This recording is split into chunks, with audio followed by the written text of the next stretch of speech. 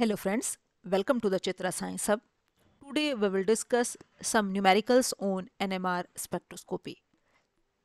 Question number first. An organic compound having molecular formula C3H7Cl gives two triplet and one multiplet. Write the structural formula. एक हमारा organic compound है जिसका molecular formula है C3H7Cl वो दो triplet देगा और एक मल्टीप्लेट देगा दो ट्रिपलेट का मतलब क्या है आपका? कि दो सी एच टू ग्रुप है इट मीन यदि ट्रिपलेट आए हैं, और एक आपका मल्टीप्लेट है। तो इसका हमारा क्या स्ट्रक्चरल फॉर्मूला हो सकता है? C H three C H two C H two C L क्यों? चूँकि हमारा, ये जो सी एच थ्री है, इसके नेबर में आपका जो है हमारा, ये सी एच टू है तो इसमें हमारा फॉर्मूला जो सिग्नल की स्प्लिटिंग होती है, उसमें हमारा फॉर्मूला लगता है एन प्लस वन तो इसके नेबर में हमारे दो प्रोटोन है तो एन प्लस वन थ्री तो एक हो गया हमारा ट्रिपलेट ट्रिपलेट तो कहा दो ट्रिपलेट हैं। अब यदि इस सी एच टू को देखें तो इसके नेबर में भी इधर सी एच टू है तो इधर भी एन प्लस वन क्या हो गया आपका? ट्रिपलेट दो है, दो दो प्लस एक, तीन तो ट्रिपलेट तो दो तो हमारे ट्रिपलेट हो गए, एक कहा मल्टीप्लेट अब यदि हम इस बीच वाले की बात करने लगे तो इसके इधर भी प्रोटोन है, इधर भी प्रोटोन है, और दोनों अलग अलग एनवायरमेंट में है। तो इधर देगा ये थ्री प्लस वन फोर और इधर देगा टू प्लस वन आपका थ्री तो फोर इंटू थ्री ट्वेल्व तो आपके दो तो ट्रिपलेट हो जाएँगे, एक मल्टीप्लेट हो जाएगा तो इसका जो सही स्ट्रक्चरल फॉर्मूला है that is C H three C H two C H two C L second question A compound has the molecular formula C2H3Cl. It can't show geometrical isomerism. The compound has two NMR signals.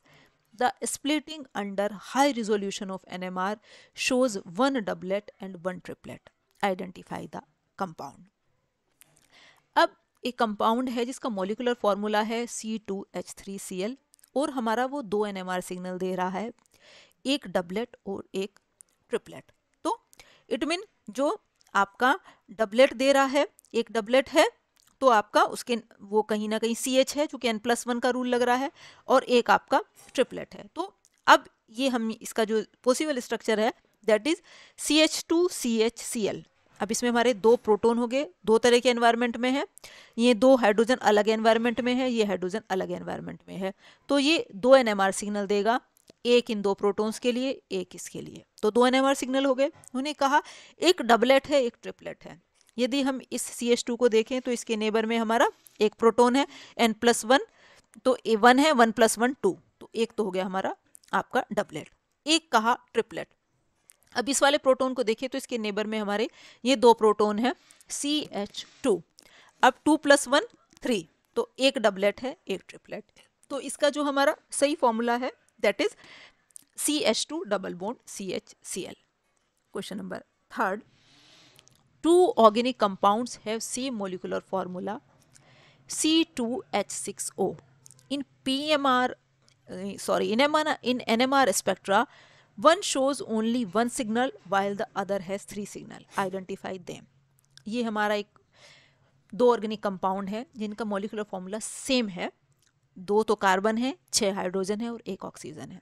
जब हम N M R spectra study किया तो एक ने तो केवल एक signal दिए, एक ने तीन सिग्नल दिए. तो इसके जो उसका फॉर्मूला पॉसिबल है मीन जो हमारा पहला कंपाउंड है, वो तो है C H three O C H three क्यों? क्योंकि उसने क्या कहा? एक ही सिग्नल दिया। तो चूँकि ये दोनों, ये तीनों हाइड्रोजन और ये तीनों हाइड्रोजन एक ही जैसे एनवायरनमेंट में है, इसके सी एच थ्री के बगल में ऑक्सीजन एक है सिंगल इसी तरह से इस सी एच थ्री के बगल में एक ऑक्सीजन है, वो भी सिंगल तो आपका ये केवल एक एन सिग्नल देगा। अब यदि हम इसकी बात करने लगे C H three C H two O H की तो वही मोलिकुलर फॉर्मूला सेम है। इसके अंदर भी आपका दो ही का, कार्बन है छह हाइड्रोजन है और एक ऑक्सीजन है। अब इसमें ये हमारा तीन सिग्नल देगा। क्यों? क्योंकि ये तीनों हाइड्रोजन अलग एनवायरनमेंट में है ये दोनों अलग हैं और ये हाइड्रोजन अलग। तो एक सिग्नल इसके लिए एक सिग्नल इसके लिए एक इसके लिए। तो ये हमारा तीन एनएमआर सिग्नल देगा और ये केवल एक सिग्नल देगा। Question number four an organic compound gives a red precipitate with 2,4-dinitrophenyl hydrogen reagent. H1 NMR spectrum of the compound shows only one signal as singlet corresponding to six protons. Name the compound. ने कहा है कि एक organic compound है जिसका molecular formula 58 है जो red precipitate देता है किसके साथ two four dinitrophenyl hydrazine reagent ये हमारा ब्रडी रिएजेंट होता है और ये ब्रडी रिएजेंट जो होता है, ये केवल कीटोन्स के साथ ही हमारा रिएक्शन शो करता है कीटोन्स के साथ रेड कलर की पीपीटी देता है। तो इट मीन उसके पास C double bond O group है कीटोनिक ग्रुप उसके पास है। तो कीटोनिक ग्रुप है तो अंडरस्टूड सी बात है, एक ऑक्सीजन भी है। अब एक तो हमारा ऑक्सीजन हो गया अब मोलिकुलर वेट 58 है तो इट मीन नियर अबाउट तीन कार्बन उसके पास हैं, चूँकि 12 थ्री ज़ा फोर्टी और एक हमारा जो है ऑक्सीजन हो गया, उसका हमारा जुड़ेगा तो इट मीन उसके पास तीन कार्बन भी है तो क्या पॉसिबल स्ट्रक्चर हो सकता है और केवल एक ही सिग्नल दे रहा है? तो जो इसका पॉसिबल स्ट्रक्चर बनता है, साथ ही ये ब्रेडी रिएजेंट ये बता रहा है कि वो रेड कि रेड पीपीटी दे रहा है तो इट मीन वो किटोनिक ग्रुप है तो इसका स्ट्रक्चर जो पॉसिबल है that is C H three C O C H three question number fifth two compounds A and B have the same molecular formula C2H6O but different IR spectra. Molecular formula तो same है, लेकिन I R spectra different है. Compound A shows a strong absorption at three four zero zero centimetre inverse while compound B does not एक compound तो हमारा चौंतीस सौ centimetre inverse पे एक एब्जॉर्प्शन शो कर रहा है, जबकि दूसरा नहीं कर रहा। अब ये जो इस रेंज में जो एब्जॉर्प्शन है, ये होता है ओ OH ग्रुप की वजह से। तो इट मीन ए के पास जो है, हमारा ओ OH ग्रुप प्रेजेंट है। चूँकि ये जो एब्जॉर्प्शन रेंज होती है, चौंतीस सेंटीमीटर इनवर्स ये हमारी ओ OH के लिए होती है। तो इट मीन ए वाले कंपाउंड के पास हमारा ओ OH ग्रुप भी है। सी टू एच सिक्स तो इट मीन उसका क्या स्ट्रक्चर हो सकता है? C H three C H two O H दूसरा कहा कि वो हमारा इस रेंज में एब्जॉर्प्शन शो नहीं करता, लेकिन ऑक्सीजन उसके पास है, चूँकि ये है फॉर्मूला है C two H six O तो इसका क्या फॉर्मूला हो सकता है? C H three O C H three चूँकि ये इसमें हमारा ओ OH ग्रुप नहीं है, और ये हमारा इस रेंज में एब्जॉर्प्शन शो नहीं कर रहा इट मीन उसके पास ओ OH ग्रुप नहीं है। तो ए का जो फॉर्मूला है, वो है C H three C H two O H और बी का है C H three O C H three question number six The NMR spectrum of a compound with formula C4H9Br consists of a single sharp peak या line कह ले what is the structure of the compound एक हमारा organic compound है जिसका formula है C four H nine B R जो केवल एक सिग्नल शार्प दे रहा एक ही सिग्नल दे रहा है इसका क्या मतलब है कि हमारे चारों के चारों मतलब जो हमारी नौ के नौ जो हमारे हाइड्रोजन है उनका एक जैसा ही एनवायरनमेंट है तो ये केवल पॉसिबल है टर्चरी बुटाइल ब्रोमाइड के केस में जो कि टर्चरी बुटाइल के केस में जो है आपका आ, कोई हाइड्रोजन एक दूसरे के नेबर में नहीं आएगा। तो नेबर में नहीं आएगा तो स्प्लिटिंग नहीं होगी केवल एक ही सिग्नल देगा। तो ये हमारा C four H nine B R जो है हमारा टर्चरी ब्यूटाइल ब्रोमाइड के फॉर्म में है तभी वो केवल एक सिग्नल दे सकता है। सेवेंथ क्वेश्चन है determine the structure of the compound C3H6O showing the following absorption band in IR spectrum.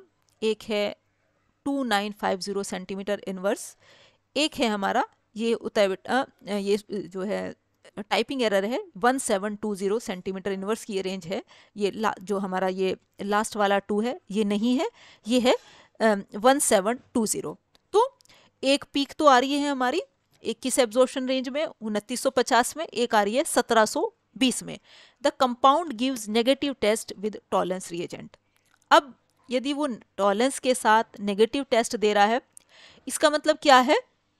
कि आपका जो टॉलेंस के साथ पॉजिटिव टेस्ट कौन से देते हैं? एल्डिहाइड और यदि वो नेगेटिव टेस्ट दे रहा है इट मीन क्या है? वो कीटोनिक ग्रुप है क्योंकि फॉर्मूले में हमारा ऑक्सीजन प्रेजेंट है, और ये जो हमारी ये रेंज होती है 1720 वाली, ये एल्डिहाइड और कीटोन के लिए ही होती है। 2950 वाली CH के लिए होती है। देखो नीचे पीक मैंशनड है, जो सी डबल बोन्ड ओ की वाली पीक है एल्डिहाइड और कीटोन की, वो 1710 1720 इस रेंज में होती है जनरली और जो हमारी ये 2950 वाली होती है 2900 से 2950 वाली जो रेंज होती है, वो CH के लिए होती है। तो इट मीन उसके पास CH ग्रुप भी प्रेजेंट है सी है। अब वो जो हमारा ये कीटोनिक ये जो सीओ ग्रुप है, ये हमारा जो कार्बोनिल की हमारी रेंज है, वो एल्डिहाइड के फॉर्म में है या कीटोन के फॉर्म में है, ये बता रहा है टोलन रिएजेंट का टेस्ट अब टॉलेंस के साथ नेगेटिव टेस्ट कीटोन्स देते हैं एल्डिहाइड पॉजिटिव टेस्ट देते हैं। तो इट मीन उसका फॉर्मूला क्या हो? कीटोन हो गया C H three C O C H three eight question C two H four O two while studied for its IR analysis, resulted the following peaks in its NMR spectrum. कौन कौन सी peak आई? एक 2900 से 2950 centimetre inverse में, एक 1710 की range में, एक 3500 से आपका 3650 सेंटीमीटर की रेंज में आई है। अब जो कंपाउंड है the compound also give effervescence with sodium carbonate suggest the structure क्या स्ट्रक्चर हो सकता है? दो कार्बन है, चार हाइड्रोजन है, दो ऑक्सीजन है। जब हमने आईआर आपका डेटा स्टडी किया तो उसमें हमारी तीन पीक मिली। एक 2900 से 2950 के बीच में ये रेंज होती है, ये जो एब्जॉर्प्शन रेंज होती है, ये होती है CH ग्रुप के लिए। दूसरी है 1710 1700 से 1710 या 1720 वाली जो रेंज होती है, वो होती है हमारी कार्बोनिल ग्रुप के लिए। तीसरी है हमारी 3500 से 3650 के बीच की ये होती है हमारी ओ OH की रेंज तो इट मीन उसके पास सी एच ग्रुप भी है सी ओ भी है और ओ OH भी है। और साथ के साथ वो ब्रिस्क एफरवेसन शो कर रहा है किसके साथ? सोडियम कार्बोनेट के साथ। इट मीन क्या है? वो एसिड भी है। तो क्या फॉर्मूला हो सकता है उसका? उसका फॉर्मूला हो सकता है C H three C O H means acetic acid next question है। एक compound shows a proton NMR spectra peak at 240 hertz downfilled from the TMS peak in a spectrophotometer operating at 60 megahertz. What are the values of chemical shift in delta and tau scale? एक compound है जो जो है proton NMR peak दे रहा है कितने कितनी 240 hertz downfield from TMS TMS से इतने डाउनफील्ड पे और जो स्पेक्ट्रोफोटोमीटर किस कितनी फ्रीक्वेंसी वाइब्रेट कर रहा है वो 60 मेगाहर्ट्ज। तो हमें क्या निकालनी है? केमिकल शिफ्ट की वैल्यू निकालनी है। तो केमिकल शिफ्ट निकालने के लिए एक फॉर्मूला होता है ये। Observe shift from TMS in hertz into ten raise to the power minus six upon आपका सॉरी uh, ये ten raise to the power six positive होता है माइनस नहीं होता ये टाइपिंग एरर है। Upon frequency of spectrophotometer in hertz तो आपकी ये शिफ्ट दी गई है ऑब्ज़र्व शिफ्ट फ्रॉम टीएमएस वो दी गई है two four zero hertz two four zero into ten raise to the power six ये जो है मिसप्रिंट है ten raise to the power six है ये. तो two four zero into ten raise to the power six upon frequency of spectrophotometer in hertz अब चूँकि वो 60 मेगा हर्ड्स में दिया हुआ है, उसे हम हर्ड्स में कन्वर्ट करेंगे तो 60 into ten raise to the power six तो ten raise to the power six ऊपर नीचे से कैंसिल हो जाएगा. 240 को हम 60 से डिवाइड करेंगे तो आ जाएगा फोर तो जो हमारी केमिकल शिफ्ट जो यदि हम डेल्टा वाले स्केल पे देखें तो फोर पीपीएम हो जाएगी। और टॉर और डेल्टा के बीच में रिलेशन होता है tau scale is equal to ten minus के डेल्टा तो यदि टाउ स्केल पे देखें तो उसकी जो केमिकल शिफ्ट है वो सिक्स पीपीएम है और यदि हम डेल्टा वाली स्केल पे देखें तो तब है उसकी फोर पीपीएम नेक्स्ट क्वेश्चन है। Calculate the NMR frequency in megahertz of the proton in a magnetic field of intensity 1.4092 tesla given that gn is equal to 5.585 and mu n is equal to 5.05 into 10 raised to the power minus के 27 joule Tesla inverse तो हमें क्या निकालनी है? N M are frequency निकालनी है। Formula होता है nu is equal to G N mu N into H naught upon H ये हमारी जो है ये हमारी जी एन म्यू एन दोनों वैल्यू दी गई है। एच नोट क्या है हमारी? फ़ील्ड स्ट्रेंथ है। ये मैग्नेटिक फ़ील्ड इंटेंसिटी उन्होंने दे रखी है 1.4092 टेस्ला फॉर्मूले में वैल्यू रखेंगे। जी एन की वैल्यू गिवन है 5.85 5.585 म्यू एन की वैल्यू गिवन है 5.05 point zero five into ten raise to the power minus twenty seven H naught magnetic field intensity वो भी गी हुई, आपकी गिवन है 1.4092 अपॉन एच एच की वैल्यू रखेंगे हम आपकी तो ये एच ये क्या है एच क्या होता है हमारा प्लैंक कांस्टेंट और इसकी वैल्यू है 6.6 point six into ten raise to the power minus की थर्टी फोर तो फ्रीक्वेंसी कितनी आ जाएगी 60 into ten raise to the power six hertz इस हर्ट्स को जब हम मेगा हर्ट्स में करेंगे तो इसका आंसर आ जाएगा 60 mega hertz these are some numericals on NMR spectroscopy. Thank you.